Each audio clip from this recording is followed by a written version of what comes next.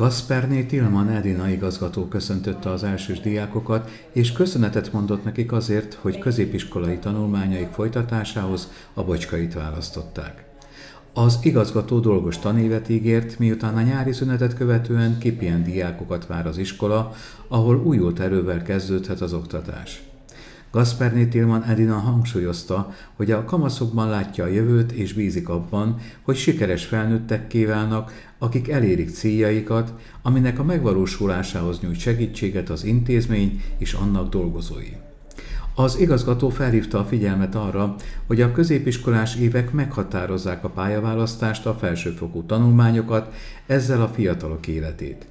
Az elmúlt hónapokban sokan azért dolgoztak, hogy zöggenőmentesen indulhasson a 2022-23-as tanév a Bocskaiban. Ezt követően Plaszkó Bálint a diák önkormányzat nevében üdvözölte az intézmény új tanulóit, majd ismertette a nap programját. A kisebb csoportok az állomásokon különböző feladatokat oldottak meg, amelyek között például Brown Csabával történelmi totót töltöttek ki, Magda Gáborral környezet és természetvédelemről beszélgettek, Kecskés Evelin vezetésével a Honvéd kadét programban nyertek betekintést, míg a Premier alapfokú művészeti iskola állomásán Nahaj Péterrel a zene került a középpontba.